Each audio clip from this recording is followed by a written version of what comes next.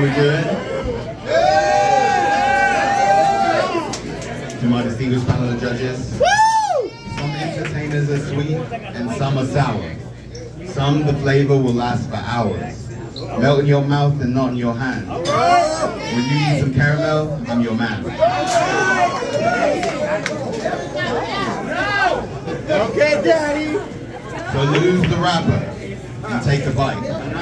Because I'm your only candy man tonight. Contestant number two, Daniel Scott Skyy, and I'm here to be devoured by you. Oh, yeah.